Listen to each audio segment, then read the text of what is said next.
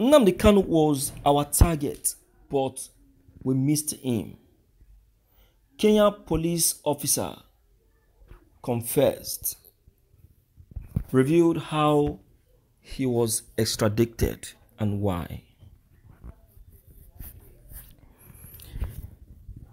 Now I understand what the Kenya president meant by that statement of his when he said that if I dare open my mouth and say what led to the extradition of Nnamdi Kanu, Nigeria will have no choice than to divide.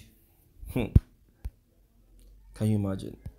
I'm not surprised because it was also revealed that it wasn't their intention to extradite Nnamdi Kanu. Their, in, their, their main plan was to get him executed secretly. So they will now say that Nnamdi died in Kenya while coming to um, do one or two things and all of that. You understand?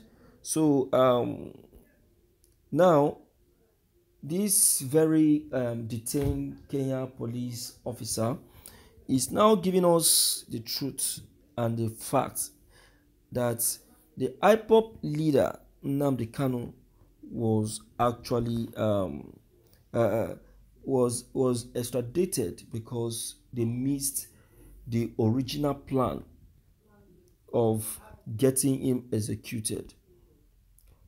Now, what is now telling us right now is what uh, everyone is still wondering why it took so long for this truth to be revealed.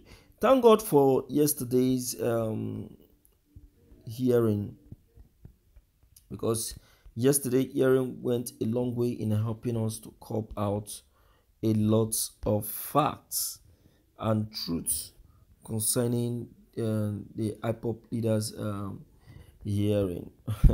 Try out to say. All right, uh, let's let, let's listen and know what he actually meant on this very statement of his. Okay, this is morning news.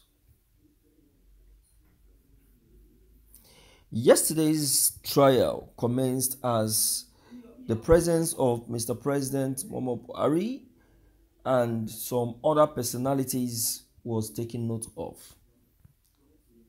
The hearing, which commenced in the morning yesterday, has yielded a positive result in favor of, of Nnamdi Kanu.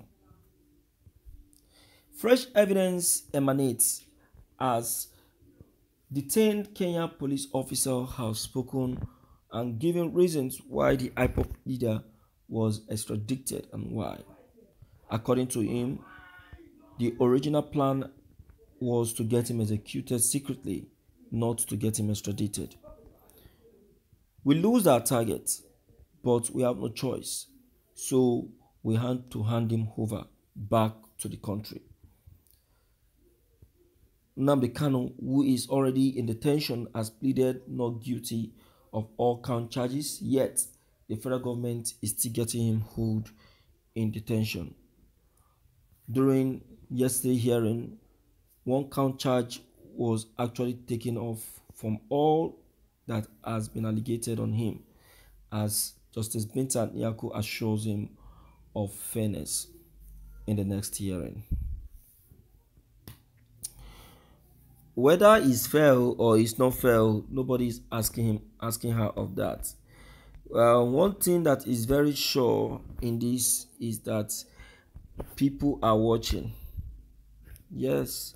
So even if it tried to be unfair, somehow, somehow the truth will still be revealed. Hmm? Yes, the truth will still be revealed. So, my dear people, I know it will sound like a shocker to you, but that is just the truth. You've heard it from the horse's mouth. It was not just told. It was not just told. It's one of the reasons for the uh, for yesterday hearing. In fact, this very um, evidence that just surfaced is one of the reasons. But something is really paining me in this very in, in this Kenya people's issue.